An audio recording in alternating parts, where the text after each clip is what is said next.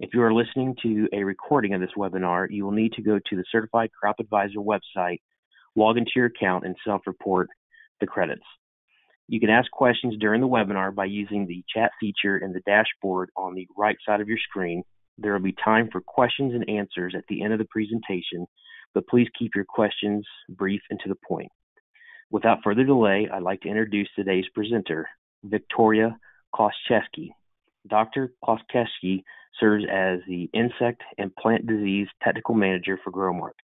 Prior to her job at Growmark, Kleczewski worked as a development scientist for DuPont Crop Protection in the Northeast, where she contributed to the development and launch of specialty and field crop fungicides, insecticides, and seed treatment products.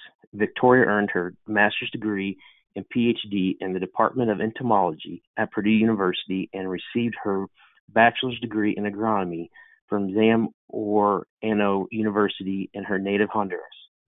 I'll hand it over to you now, Victoria. Thank you.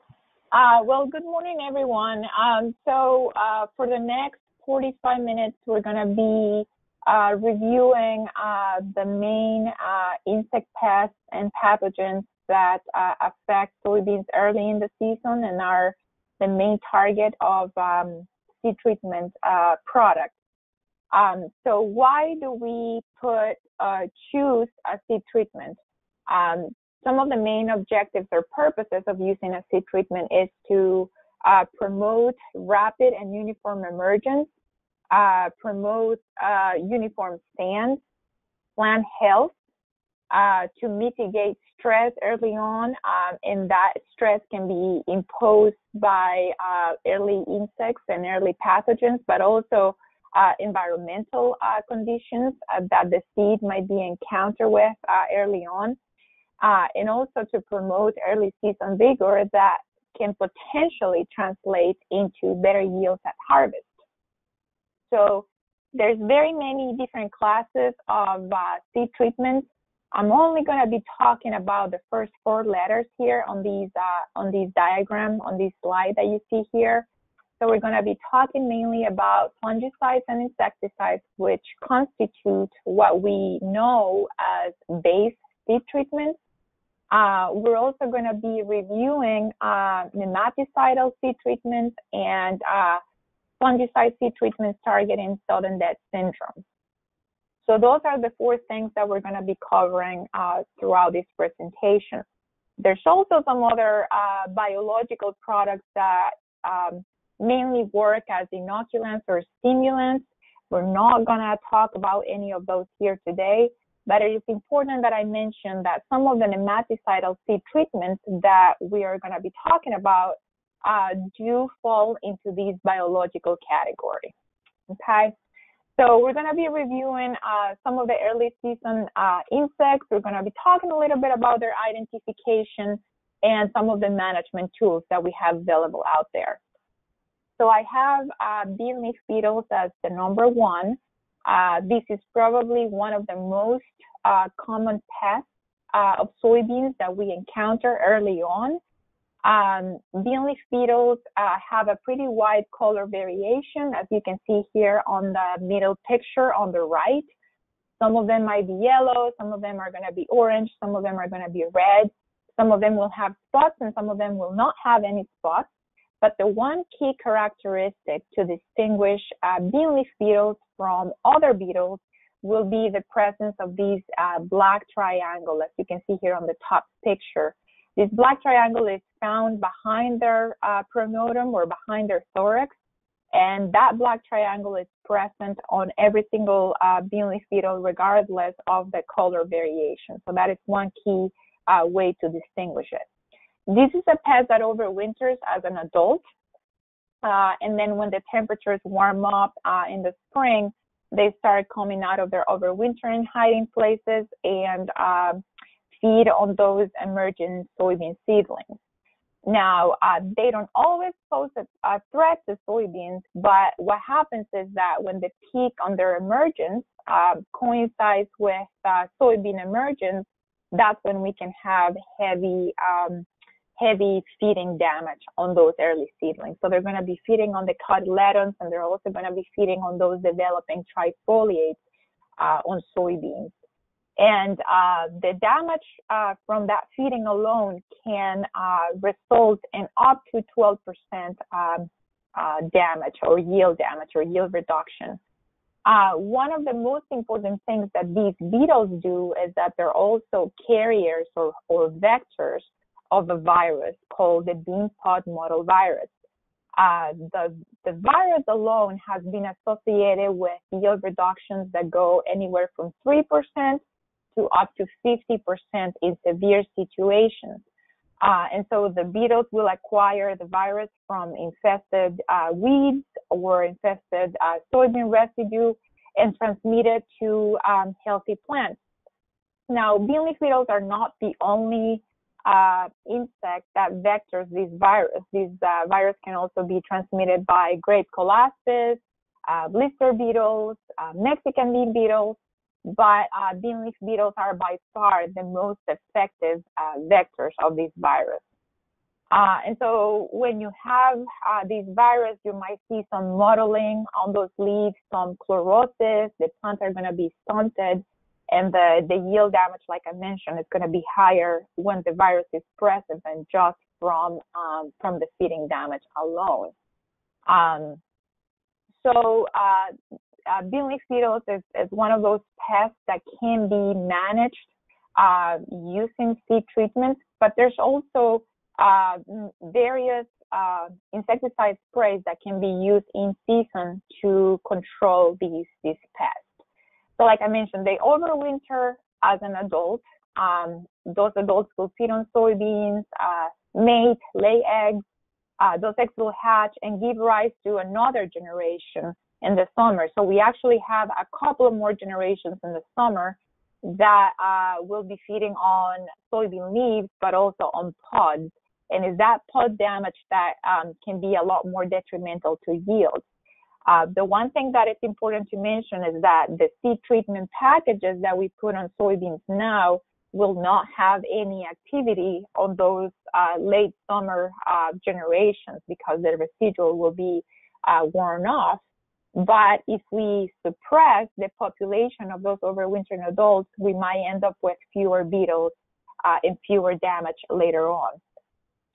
So one of the things that we have in our favor um, is that the winter temperatures can uh, result in significant levels of mortality. So harsh winters have been associated with uh, pretty high mortality uh, levels on these uh, on these beetles.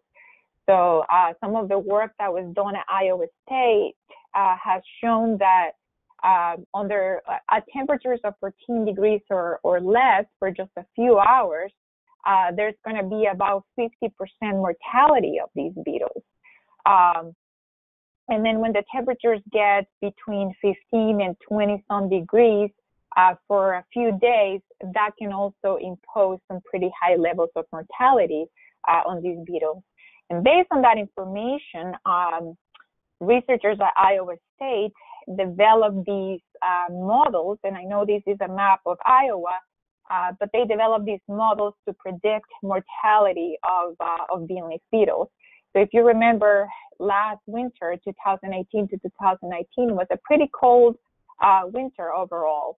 Uh, so based on the um, winter temperatures or sub-freezing temperatures, they uh, predicted uh, levels of up to 99% mortality on some of those uh, areas in Iowa, which meant, um, you know, these areas with pretty high levels of mortality shouldn't have been too concerned about um, bean leaf beetles uh, causing damage.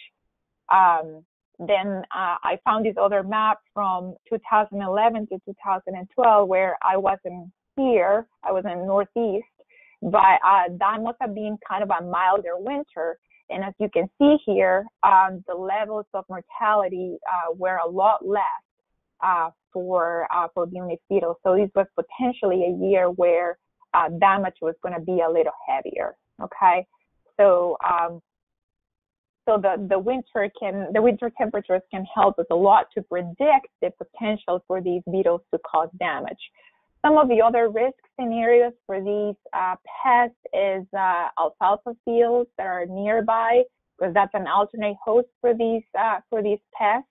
If there is a history of the virus uh, in your particular field, that can also represent a risk scenario because those overwinter overwintering beetles will get the virus from um, from these infected plants and potentially transmit it to to newly uh, planted uh, fields.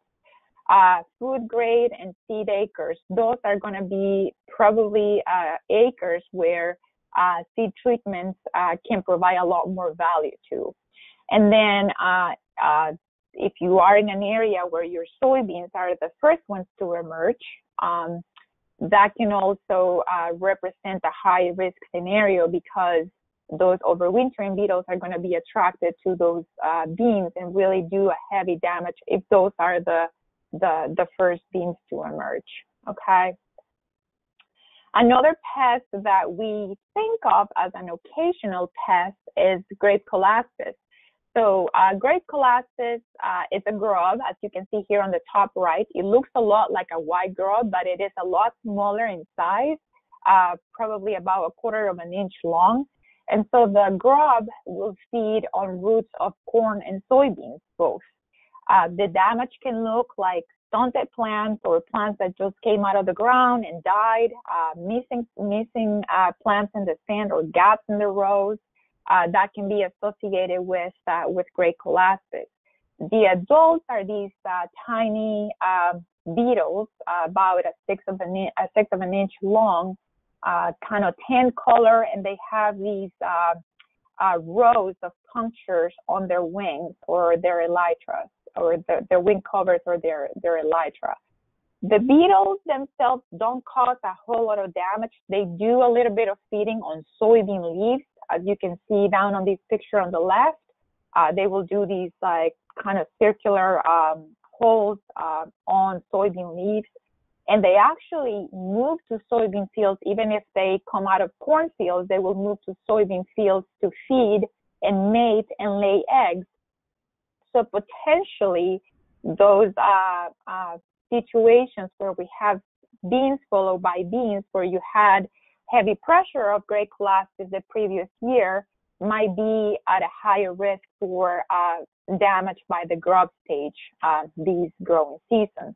Uh, mainly because those beetles are going to be laying eggs in there, um, and those eggs are going to hatch, and uh, that grub is going to come up to uh, to those top few inches of the soil in the spring and start looking for roots to feed on.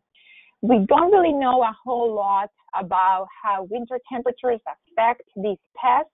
Um, we don't really know uh, much about how wet falls versus dry falls affect their survival, uh, but the potential for, for damage can be higher if you had beans on beans where you had heavy pressure the previous year. Uh, we don't have any rescue treatments for these pests. Uh, and usually when we talk about seed treatments, the high rates of uh, insecticide seed treatments is what's needed to control these pests.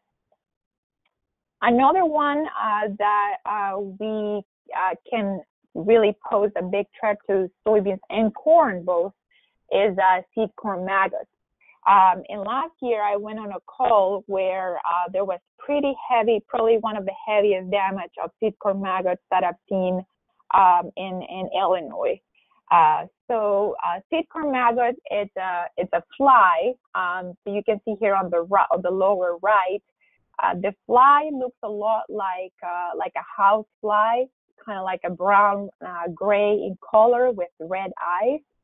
So those flies are actually going to be attracted to uh, fields with manure, uh, fields with green vegetation, moist uh, soils with high organic matter.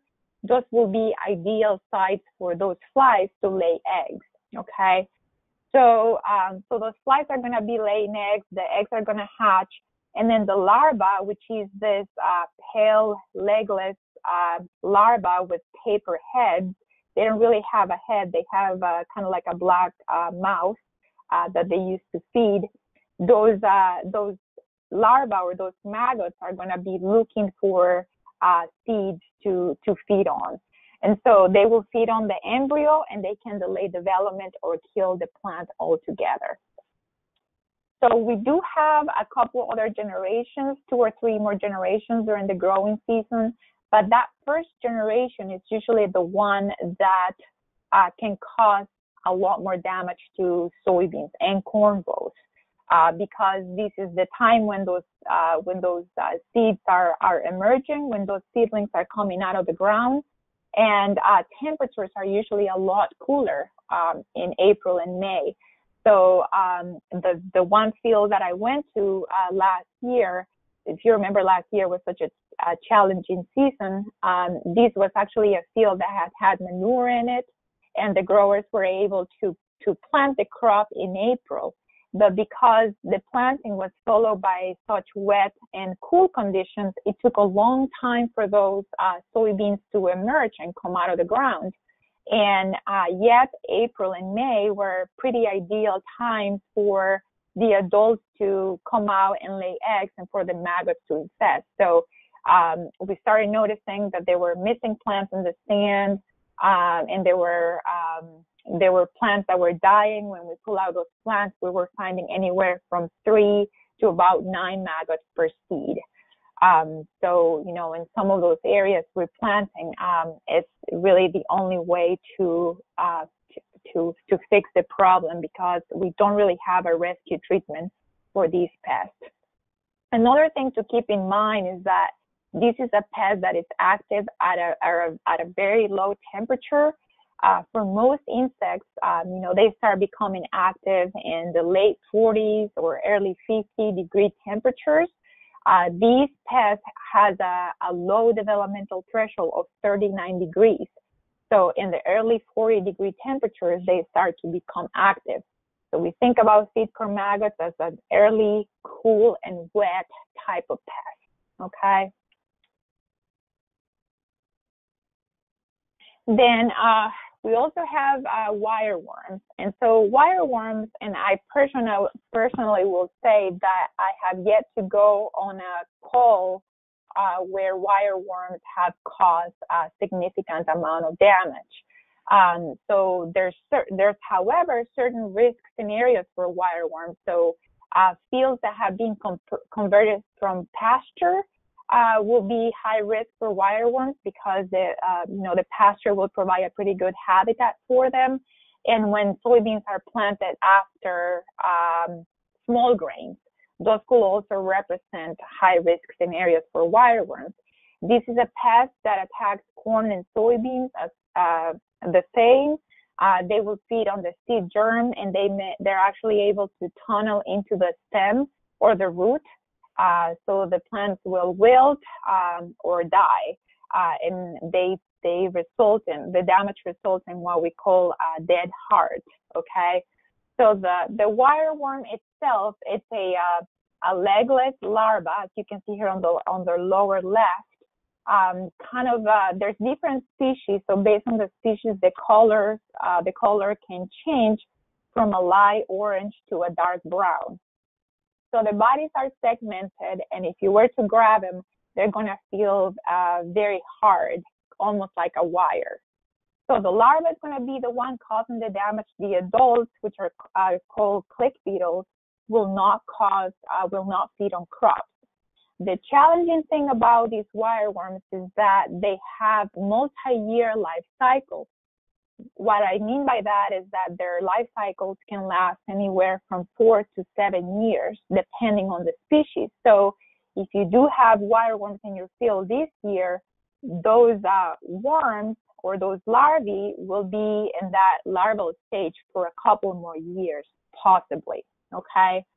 Um, they're they're an issue early in the season, but as because later in the season, as the temperatures warm up and the soil warms up, they tend to move deeper into the soil profile, so as to they're not really going to be feeding uh, on your crop much at all.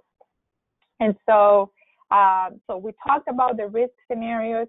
I will tell you one of the best and most accurate ways to really find out whether wireworms are present or not is by setting up what we call bait stations. So the bait will be composed of untreated wheat and corn seeds. You dig these holes in the ground and bury the seed about um, six inches deep. Then you cover that, that bait with a black plastic, mainly to heat up that mixture uh, because the, the, the wireworms are going to be attracted to that CO2 that's released by those, uh, by those seeds. You really want some of those seeds to, to emerge. And so, you know, you leave it alone, put a flag in there uh, so that you know where they are and you can come back to check those baits. Uh, and so about a couple of weeks after, uh, you come back and check the mixture and see if uh, wireworms are present. So I'll say if we start finding one or two wireworms per bait station, we can start uh, getting concerned about uh, wireworms potentially being a problem in that field. So these bait stations, you really want to set them up before planting so that you can take measures if you have enough time to take measures if the um, if the, the numbers are high. Okay. And so like with, with seed corn maggots, there's no rescue treatments for wireworms either. So this is something, a decision that you have to make in advance on whether to, to put a seed treatment or a soil insecticide uh, prior to planting or at planting. Okay. Um, and then the other pest that I wanted to talk about is white grubs. And so uh, this is also a pest of both corn and soybeans. The grubs themselves will be feeding on root hairs. They will also be feeding on organic matter. Uh, but the feeding on the roots can cause some stunted plants, some chlorosis. On corn, you tend to see uh, purple corn. Uh, there's different species of white grubs that we deal with. Uh, the grub is this creamy color uh, grub with a brown head. Um, it is very hard to distinguish these grubs, but if you grab a pair of lenses and you look at the tip of their abdomen, you're gonna find uh, what we call the raster pattern, which is uh, an arrangement of an arrangement of hairs um, on the tip of their abdomen. And based on the arrangement of those hairs, you can kind of distinguish one species from the other one. Uh, the adult stages are pretty easy to distinguish because they have, you know, very characteristic colors and shapes and, and sizes, but the growth stage is a little challenging. Uh, so just to give you an example here, the May beetle here on the left, or what we call the true white grub, uh, this is potentially the one that we're going to be a little bit, a little more concerned about because uh, this is a grub that has a three-year life cycle. It means it takes about three years for them to turn into an adult. So these grubs will potentially spend a couple of growing seasons in the grub stage. So if you are finding a lot of uh, true grubs or, or May beetles uh, in your field this year, uh, they'll potentially going to be uh, present next year. A good proportion of them will still be in the larval stage uh, next year. So, so looking at the raster pattern for that May beetle or the true white grub, you can see there's a couple of parallel lines of hairs. That is one way how we distinguish this one from a Japanese beetle grub, for example, that's next to it. So the Japanese beetle grub will have uh, more of a V-shaped uh, pattern to it.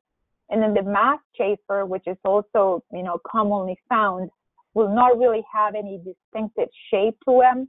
The hairs will be arranged kind of in a, a uniform way. And so uh, Japanese beetles and mask chafers are, are both uh, annual grubs, meaning they complete their cycle in one year. They have one generation per year. So, you know, those beetles will emerge and potentially go lay eggs in a different uh, field. So having Japanese beetles and mask chafers in there this year doesn't necessarily mean that we're going to have the same growth problem next year because those beetles might move away and go lay eggs somewhere else. So I try to summarize these insect uh, portion here in this table, just kind of talking a little bit about the risk scenarios where uh, seed treatment might be justified. Uh, so in the case of bean leaf beetles, we, we talked a little bit about how winter temperatures affect their survival. Uh, so during mild winters or warmer winters, we expect a high uh, survival of these overwintering beetles that will be feeding on soybean seedlings, and there's a high potential for that early season damage. So in those situations, uh, the use of a seed treatment uh, may be very well uh, be justified. Um, however, if we do have more of a harsh winters, very cold temperatures, uh, we are going to expect uh, low beetle survival. So in that case, uh, seed treatments will really not um, be necessary. Okay. When we talk about seed corn maggots, uh, planting early into those wet soils or cold temperatures, if manure is used, uh, if uh, I have some green vegetation in that field, those are going to be pretty ideal sites for these uh, uh, flies to come and lay their eggs. So those situations will be, uh, you know, justified to use a seed treatment. Um, however, if we're planting a little later than normal, when temperatures are a lot warmer, conditions are a lot more favorable for, for emergence and plant growth, and the soils are a lot drier, then uh, we're not going to be uh, too worried about uh, uh, seed treatments. I did talk about manure and how uh, freshly tilled fields are uh, attractive sites for these flies to go and lay eggs. Um, however, if we are doing, you know, those practices, it is recommended to wait 10 days to maybe two weeks after manure application or after uh, working the ground to uh, to plant. That will uh, prevent damage by that, you know, first generation of seed corn maggots because they may have completed development before the crop is in the ground. Um, in terms of wireworms, so the, some of the highest uh, the high risk scenarios will be uh, fields that have been converted from pasture or sod. If you have small grains um, that preceded the soybean crop, and very importantly, if you do have a history of wireworm damage, or you set up those bait stations and you're finding uh, two or more uh, wireworms per bait station, then um, seed treatments in this case may be justified. But then again, this is a pest that I, I have yet to go on a call where uh, the damage has been uh, severe. So knowing your history, it's really important. And then in the case of white grubs, um, again, these are also uh, pests of, of uh, grasses and corn. Uh, so if we do have uh, soybeans that have been to, on pasture the previous year, can have a higher risk for white grub damage. Um, so those things are really important to keep track of the history of your field and what you saw there the previous year. So what I mean to say with these um, uh, risk scenarios is that um, insecticide seed treatments may not always be necessary. Uh, and there's actually a pretty nice study that was that was uh, put together by a lot of uh, researchers in the area, where they found that um, uh, they were looking at both insecticide and fungicide seed treatments and the economic benefits obtained from those uh, from those seed treatments. And they actually one of their their statements or their conclu- conclusions was that early planted fields may benefit from an insecticide seed treatment. And we went over some of the higher risk scenarios and how um, you know some of those early cool wet conditions are ideal for some of these pests to come and attack but if you're planting, uh, you know, later, uh, where the grower con- growing conditions are more um, favorable for the crop and the conditions are warmer, uh, there's no yield benefits obtained from um, using insecticide seed treatment. So early planting, yes. Uh, late planting, not much benefit obtained. Okay. And so when it comes to the products available for managing insects, um, it is actually pretty easy because we only have one class of chemistry available as uh, seed treatments, that is the neonicotinoids. There's different actives within, within the neonicotinoids that are um, commercially available, um, depending on the product that you choose. The nice thing about these neonics is um, that they are um, have a long residual, so you can expect probably about four weeks, uh, 30 days or so, um, maybe a little more of protection because uh, uh, of, the long residual. And on top of that, these are very high uh, water soluble products. They have really nice uh, xylem systemicity. So even though they're put in the seed, uh, they're able to move up and translocate to those growing portions of the plant for a period of time until you know the residual is worn off. Um, another thing to keep in mind is that different products will have different rates of these insecticides, and so uh, they can go anywhere from 250 to 1250 micrograms of active per seed. Um, there's a couple of pests that we cover here today, like wireworms and grape colaspis, for example, where you're really going to need those high rates of insecticides. If you stick to your 250s um, on wireworms and grape colaspis, those low rates are not really going to help you much with those pests. Okay. So, um, so that was for the insect portion. I'll be happy to take questions here at the end. Um, we also have probably a handful of uh, early season diseases or early season pathogens that we deal with. And so what I try to do here is to group and by the conditions that favor the development and infection of these pathogens. So in the first uh, slide that you see here, these are uh, what we call wet rot. Uh, so Pythium and Phytophthora are oomycetes. These are fungal-like organisms that have a tail that allows them to swim in water.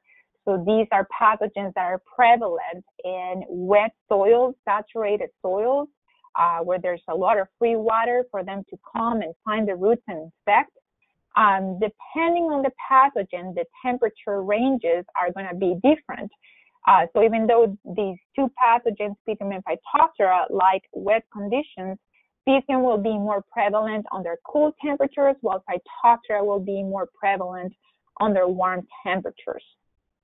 So the reason why we call them wet rots is because when you go into a field that has uh, issues with Pythium and Phytophthora and you pull those samples out of the ground, uh, the, the ones exhibiting symptoms, they're going to be, uh, their stems are going to be mushy. This is going to be a mushy uh, rot.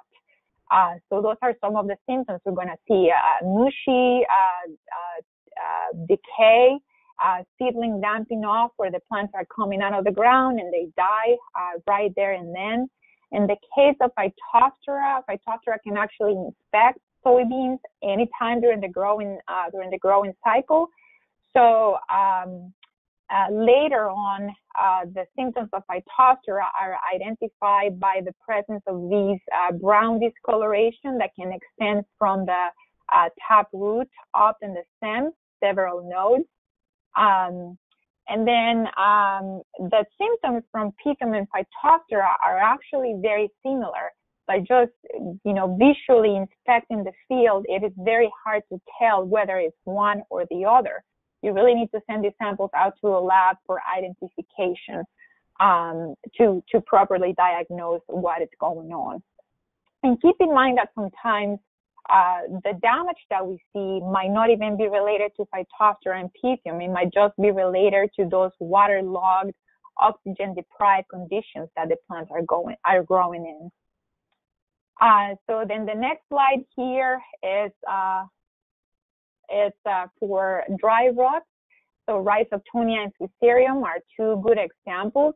They're called dry rots because unlike the mushiness that we get with uh, and Phytophthora, these are going to be kind of harder, uh, drier uh, rots. Um, so um, the conditions that are favorable vary a lot. So for example, in the case of Rhizoctonia, different strains of the fungus have different temperature requirements. Uh, some of them might like it wet, some of them might like it dry, um, but warmer conditions seems to be uh, more of a common ground uh, temperature-wise. Um, and the same thing for Fusarium, the conditions are going to be favorable will vary with uh, with the um, the race or the uh, species of the of the fungus. In terms of plant symptoms, so one of the um, one of the more characteristic symptoms of rhizoctonia is these reddish brown uh, lesions that form on the stem and the tap root. Some of those lesions may be sunken, as you can see here where the red arrow is pointing to. Some of those lesions may be sunken and may girdle the stem.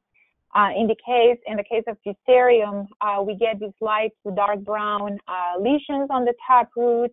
The tissue may shrivel and um, and appear dry rotted.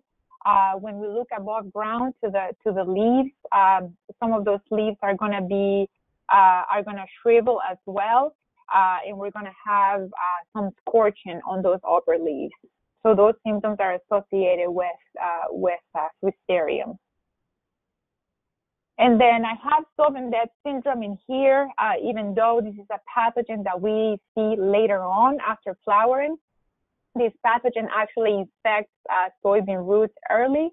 Um, so these are pathogens that's associated with early planting, but it's not necessarily a calendar-driven uh, type of planting. It's the conditions, those cool and wet conditions uh, that are associated with early planting that are, ideal for uh, sudden death. So last year was a good example where uh, we didn't necessarily plant uh, early. We actually planted a little later than normal because of all the, you know, the struggles, the wet conditions that we had, and even some of those uh, um, beans that went in the ground in late May.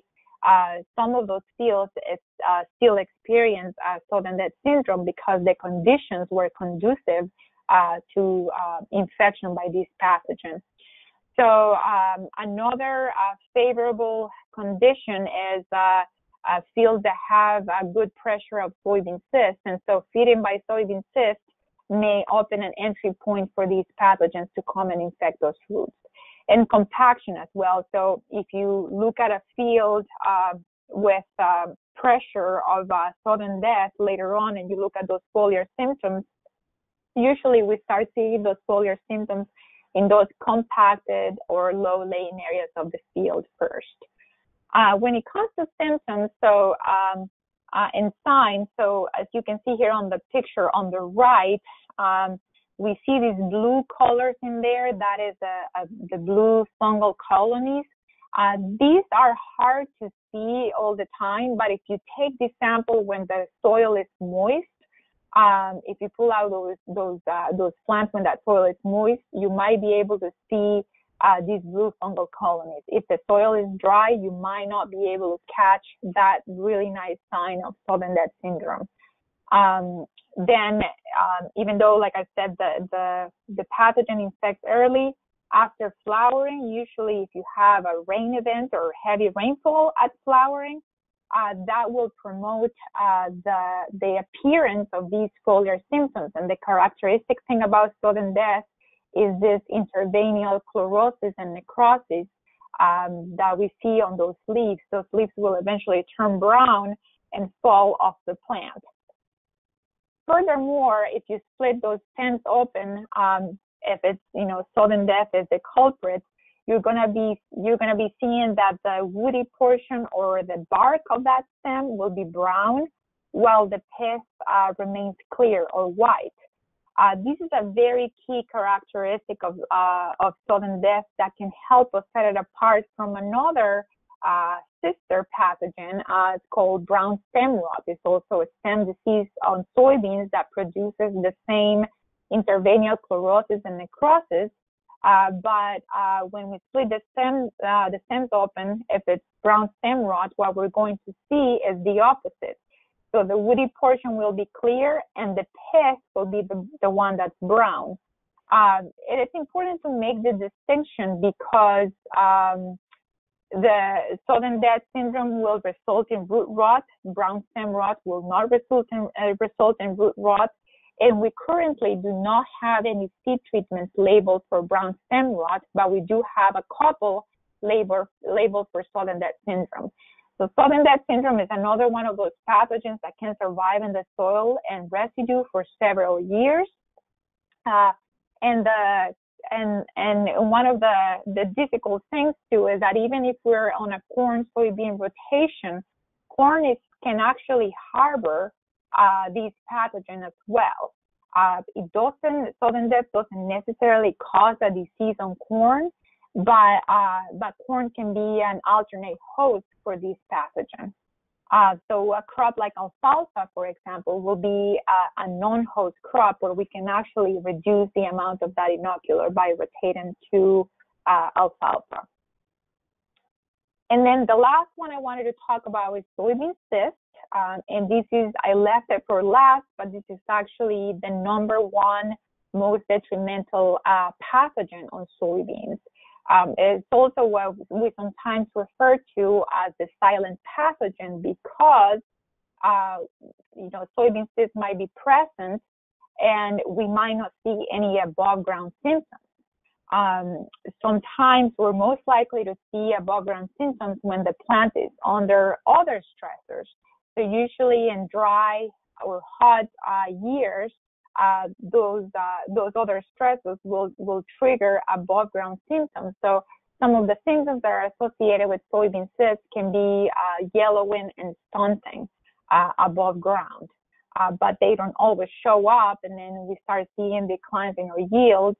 Uh, that it, that can be a red flag for something going on underneath on those roots. So it's called soybean cyst. Uh, the cyst that you see here on the left, on the bottom left, it's actually the female of the of the pathogen. So that cyst, when it's old, it's going to be kind of hardened. Um, the main purpose is to provide a house for the eggs. As you can see, those cysts are going to be filled with eggs. Uh, those eggs will hatch. Um, they will turn into into these microscopic uh, uh, worm, the nematode, uh, will molt a couple of times outside the outside the roots. Then the second instar um, soybean cyst will enter those roots, molt a couple more times inside those roots, and then you have the female uh, protruding out of those roots. So that female is going to be the cyst that is attached to those roots. The males are actually the only ones able to leave those roots, and the males are going to leave those roots and go and find a female to, ma- uh, to mate with. And so the female will put out these mass of eggs. Those eggs will hatch, and you know there's going to be a new generation um, in that field. We can potentially have about four generations per season, depending on the temperatures. It takes about uh, 28 to 32 days for one generation to complete its cycle. Um, so the, the damage is, is mainly because uh, these uh, uh, soybean cysts can interfere with water and nutrient uptake, uh, nodulation, and nitrogen fixation. The different color cysts that you see here on the on the picture in the center, um, it's related to the age of the cyst. So usually when those uh, females poke out of those roots, they're going to be those young cysts are going to be a white color and as they age, they're going to turn into a, a, a light orange all the way to uh, kind of like a darker brown uh, color. The oldest cyst will be, you know, that darker color. And so the best time to look at the cysts on the roots will be about six to eight weeks after planting. As the roots age, uh, those cysts are going to come off those roots and fall in the ground, return to the soil. Um, the, the hard thing about managing soybean cysts is that the cysts can actually be viable and live in the soil for many, many years. Uh, so once you have soybean cysts in a field, it is always there to stay. So this is one of those pathogens where we can actually make some decisions on management uh, early on the best way to know what kind of population you're dealing with is by taking soil samples in the fall. And uh, after harvest, but before tilling the ground, this is recommended to do about every four years. And so you collect several cores, about six to eight inches deep, mix it all together, and you can send those samples out to a clinic where you're going to get a count, an egg count. So based on the number of eggs that you find per uh, X amount of soil, you can have an idea for how heavy the pressure is and how uh, bad the, the potential for economic damage is from these pests. Okay. Uh, so some of the things that we use to manage can be rotation to non-host crops, mainly to kind of reduce the number of those eggs over time, the longer the rotation. The the the higher the impact on those uh, on the number of those cysts. Uh, there's also, um, you know, resistant varieties, the use of resistant varieties and switching uh, sources of resistance. And we'll talk about that here in a little bit. And then seed treatments can help a lot to protect those soybeans in, in situations where you do have um, some decent pressure from these pests. So, um, you know, we, we reviewed some of the main targets of those uh, seed treatments, some of those pathogens that will affect um, early. So we know, you know, when we look at the disease triangle, we know that if we have that infectious pathogen, uh, if we have a susceptible host, and it's important that I mention that different varieties of soybeans uh, vary on their uh, resistance or susceptibility to some of these early early season pathogens. Uh, when you look at your seed catalog, you're going to see that you know there's usually ratings ratings for certain uh, certain pathogens on that uh, specific variety. You're most likely always going to find a rating for Sudden Dead syndrome. Um, and uh, Phytophthora is really going to tell you uh, if there is a resistant uh, resistant gene or a type of resistance to Phytophthora in that field, and it'll also tell you uh, which source of uh, resistance against soybean cyst is present. Um, and we also talk about the suitable environment and what a suitable environment is will vary with the pathogen. Uh, we know that you know a lot of these pathogens will thrive on the under those uh, uh, cool, wet conditions early. Um, some of them uh, will actually, in the case of rhizoctonia, you know, if you have some herbicide injury going on, those plants are going to be a little bit more prone to uh, damage or infection by rhizoctonia. So, so the temperature ranges and the the, the uh, moisture conditions will vary with the pathogen, uh, but that suitable environment has to be present. And really, all these three factors have to be uh, present in a field for that disease to really come in and, and, and develop. So areas where we have a susceptible host, where we have that infectious pathogen in that favorable environment, um, can have the ha- a higher probability of an economic return. And I have a really nice graph to wrap up this uh, presentation here that shows how disease pressure can affect the break-even response that you get with some of these products. I don't want to bore you with going uh, through every single uh, name in this list. I just want to make you aware, if you don't know already, that uh, the Crop Protection Network put, puts out these uh, publications and they are updated every year on various topics on uh, disease management. This one in particular is on uh, seedling diseases. And so the nice thing about the, this resource is that this is an unbiased uh, rating for uh, third-party university data uh, for how the different active ingredients out there perform against some of these early season pathogens. Um, this information is pretty important, and knowing which active ingredients you have in your seed treatment package is super important because uh, not all actives are created equal. Um, some of these actives will only have activity on wet rots, and they will not have activity on uh, dry rots. For example, at the third one on this table here, ethaboxam will have good activity on Pythium and Phytophthora, but they will not have any activity on the dry rots or Rhizoctonia and Fusarium. So knowing what you have in your seed treatment, it's it's it's critical to you know make the best out, out of your uh, seed protection.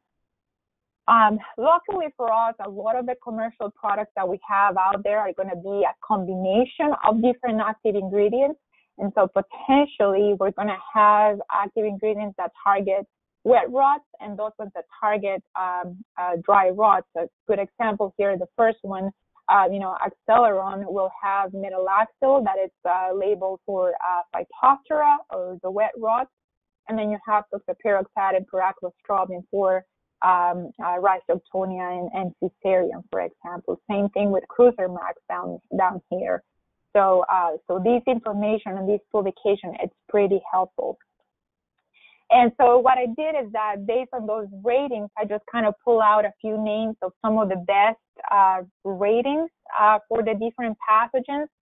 So uh, and Phytophthora, these three active ingredients, ethaboxam, mefenoxam, and metalaxyl, are going to provide you pretty efficacious control. I do have a star sign next to mefenoxam and metalaxyl because Pythium has become insensitive to these two active ingredients in some areas. Uh, there's another product, uh, oxathiapiprolin, uh, which is also um, it's commercially uh, named uh, LumiSena, that has really good activity on Phytophthora only, and it's kind of a different or new mode of action. And then for Rhizoctonia, we have a couple of strobi, uh, strobilurins, azoxystrobin, and some SDHI chemistries that have pretty good ratings against this pathogen. And then Fusarium is a couple of triazoles and an SDHI that worked really well. So remember that management of these includes variety selection uh, of, of uh, some of the most tolerant or resistant plants um, then uh, in, in the case of Phytophthora, we know that some of the varieties we have have uh, resistance to Phytophthora.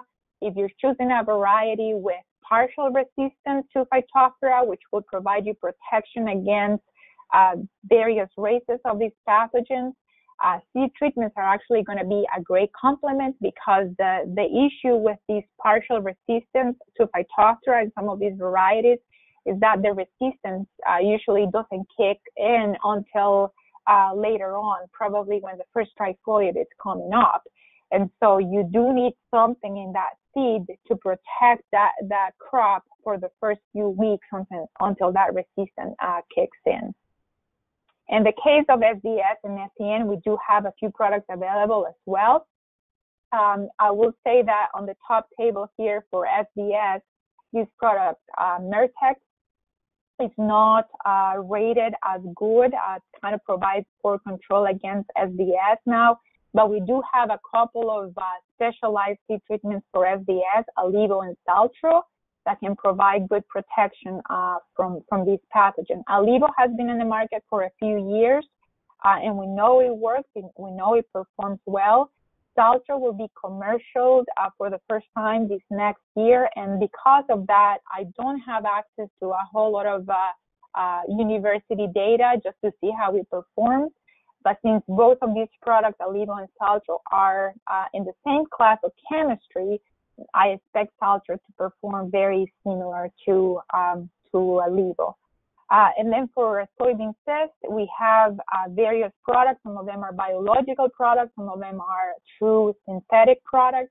Uh, Clariva um, here um, is actually a soil bacterium that produces uh, some spores that attach to the uh, soybean cyst nematode body. And then they penetrate the body of the insect. They consume the nematode in, internally. They consume their insides the body of the nematode will break, and so these uh, spores are going to be released out in the soil again and potentially create a new cycle of infection. Um, ILeVO and Saltro, you see them in here again. Uh, so these two products have actually a rate uh, for suppression against uh, soybean cyst nematodes as well. Um, then we have uh, Avicta, which is a you know a true uh, synthetic product that affects uh, uh chloride channels and in the insect uh, nervous system and the nematode nervous system. And then we have a couple of biological products in here: uh, soil bacteriums, Votivo, and Avail. Votivo pretty much works as a repellent. it doesn't have really true nematicidal activities in, in terms of it doesn't kill the nematode, but it provides a barrier on those roots to protect from, from damage by soybean cysts. And some of the university work actually has shown really promising results. Uh, with Avicta, we can get about a 0.5 to 8 bushel per acre um, increase uh, in moderate to high soybean cyst pressure.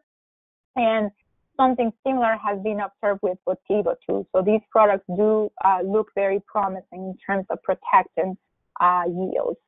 So the question is, are fungicide seed treatments necessary? And I will say, compared to insecticide seed treatments, I think fungicide seed treatments are a lot more necessary.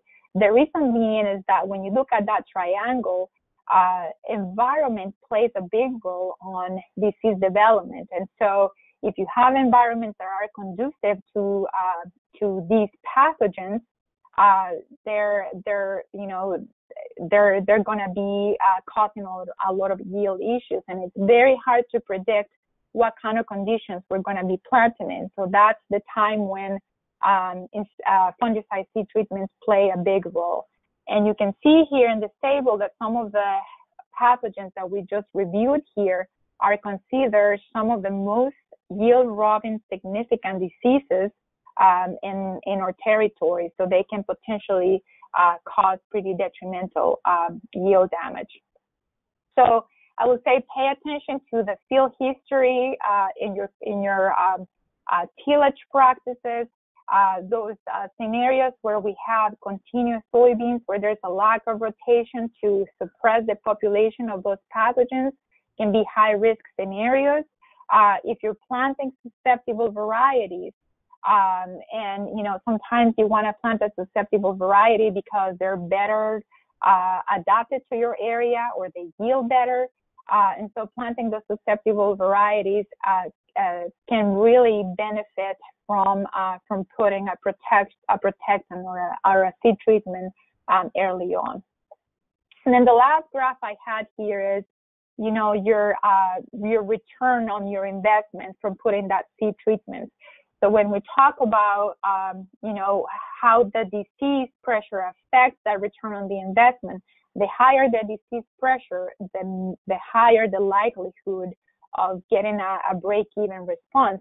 So the first graph on the top left in here, it's no disease pressure. If we look at a product uh, that costs $13 per acre uh, at a price of $7 per bushel on soybeans, we only have about 37% uh, probability of recovering the cost of that fungicide. That probability goes up when the disease pressure increases, so now we're closer to a 7, 70% under low disease pressure. And then under high disease pressure, that probability goes up to about 87%. So the disease pressure will really drive that yield response. Uh, so with that, if you um, have any questions, I'm happy to take it. I'm sorry I took uh, long.